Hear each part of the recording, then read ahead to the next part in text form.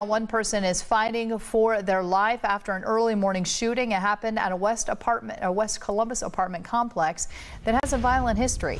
Columbus police say they received a call around 5:45 this morning of a shooting at the Wedgewood Village apartment. The victim was taken to an area hospital in critical condition. At this time, no suspects are in custody. If you have any information, you're urged to contact police.